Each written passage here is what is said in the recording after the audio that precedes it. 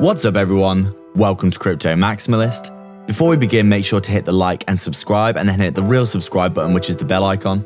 We're posting four videos every day, so make sure to check back every single day. We're aiming for 20k subscribers, and get a deal in the description if you haven't already. This is not financial advice. Welcome to Crypto Maximalist. Let's begin.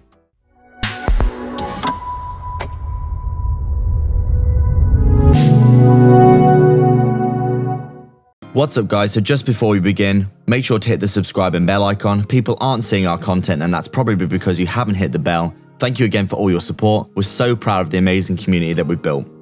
So we're just taking a really quick look at VeChain here and as we can see, it does look as though we're still chopping it up in and around this little range that we have been forming. Basically looking something like this over the past week or so, most top cryptos have actually formed a little range. Over the past week, as you can see, we've just been chopping it up in and around the 55 moving average basically reclaiming it and then losing it and then bouncing at the bottom of the range and then reclaiming it and then losing it.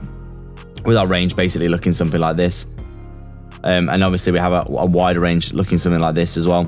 Where basically you know right now we're just consolidating in, in between our two EMAs aren't we? Bouncing off the bottom of the range chopping it up in and around the 55 and consolidating under the 20 as well. And it looks as though you know we're when you look at the metrics the on-chain data for the market, it does look as though we are going to get a bounce very, very shortly.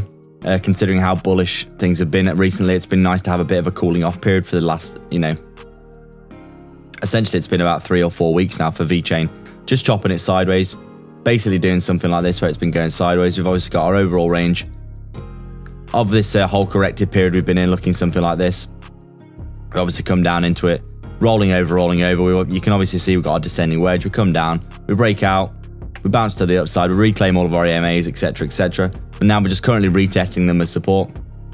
Basically looking for, you know, potentially a um, potentially a nice little bounce to the upside.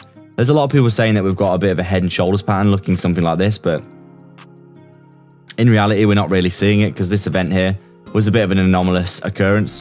And we don't really think that this was a justified event. Obviously, there was a, basically the El Salvador crash where lots of people basically sold their Bitcoin and dumped the market when it happened, basically just selling the news.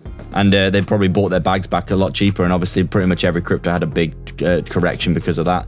But you can see here, you know, things were going pretty, pretty well before that happened. And we don't think that that was probably, um, basically, it's not really reliable data. So we don't really think that that will be a valid chart pattern. And it does seem likely, in our opinion, you know, considering that we are, you know, we're getting back into, uh, into you know, more fair value, you'd say, on our RSI as well. We actually pumped up a lot here. We had some, you know, bearish divergences. The bearish divergence has now played out. As you can see here, we've come back into fair value, consolidating in and around support, which is really bullish to see.